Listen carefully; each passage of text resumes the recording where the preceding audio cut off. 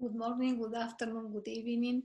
First of all, we want to thank the organizers of CAP 2021 online who allow us to present the unique experience of a total eclipse, this time in a rather unfavorable framework as the pandemic that devastates the planet was and continues to be. This collaborative work would not have been possible without the support of several universities, especially Comahue, Córdoba, San Juan Bosco de Esquel, Chubut, UTN Mendoza, and the support of NOC Argentina, Astronomers Sin Fronteras, CONICET, and the Rainforest Project of the European Union. To begin the presentation, let us show you once again the path of totality, which encompasses vast areas of oceans, but which also crosses Chile and Argentina in the Southern Cone.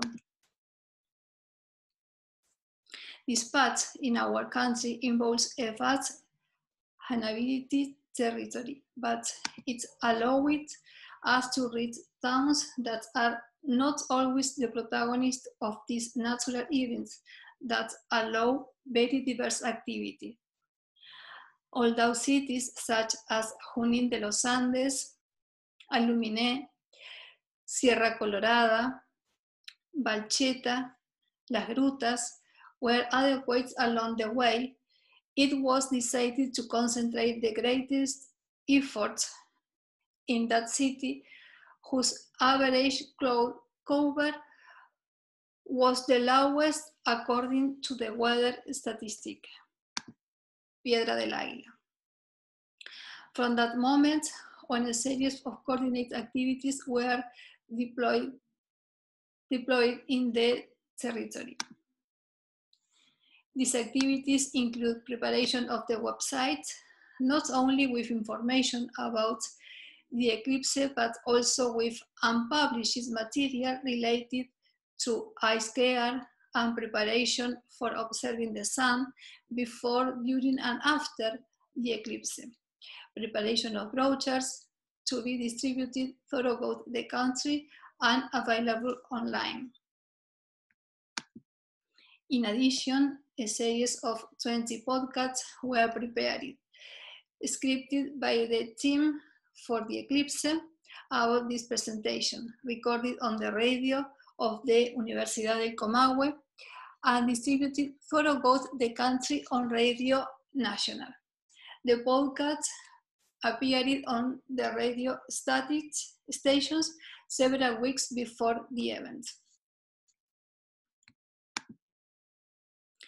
The writing document for distribution will not only focus on brochures, but also included a book prepared by Santiago Paolantonio and Nestor Camino, detailed maps on the visibility of the total and partial eclipse, flyers and posters with details of the eh, event for the provinces of Neuquén and Rio Negro.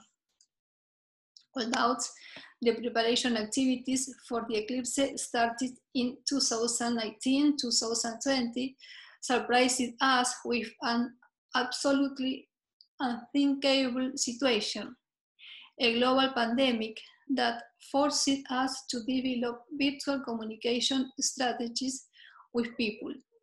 Suddenly, the internet and social networks became the most demanded resources.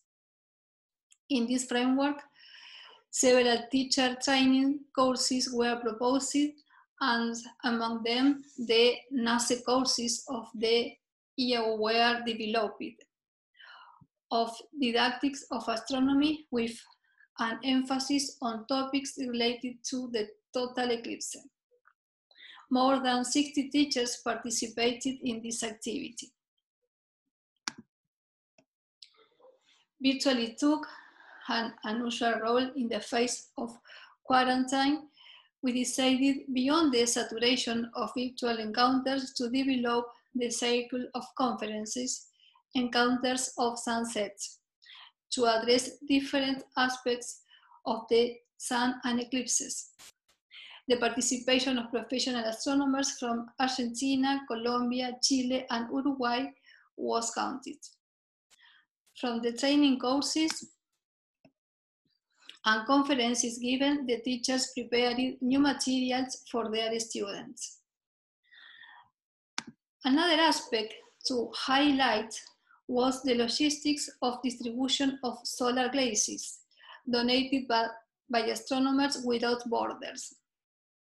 Tactile books prepared by the University of Edinburgh in the United States and made by the NASE, Light Sound, the instrument to transform light into sound from Harvard University and the brochures prepared by our team.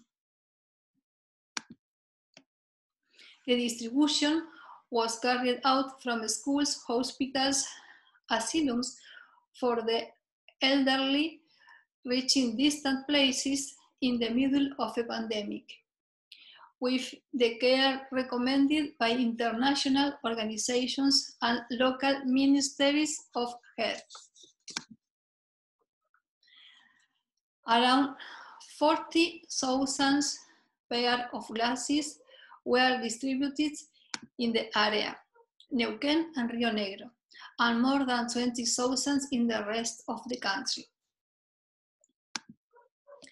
The news began to spread in the media since 2019, but during months prior of the eclipse, a significant number of interviews were conducted in the media and a team from Neuquén was prepared for the transmission of the event by streaming.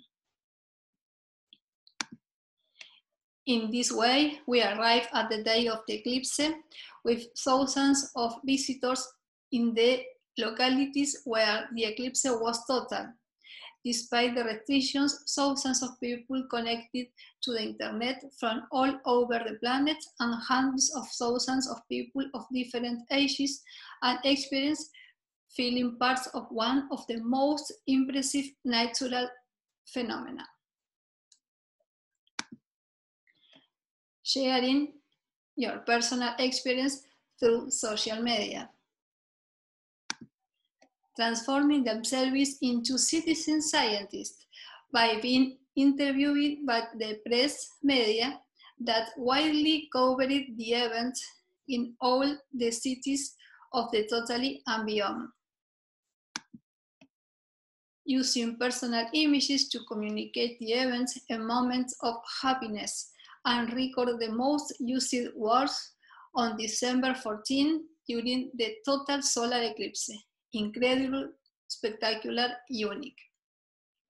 Finally, we just want to thank everyone who made this experience possible, sharing knowledge as part of communicating astronomy with the public and enjoy this special event. The image with which we close this presentation belongs to an alumni astrophotographer, Matias Cordero. The eclipse between Pehuenes, a typical tree of our Patagonia. This image was selected for the cover of the proceedings of IAU 367, Education and Legacy in the Age of Big Data in Astronomy, which was developed in December 2020 in a completely virtual format. We can thank you for your attention and remind you that on December 4th, 2021, another total eclipse of the sun will be seen from Antarctica.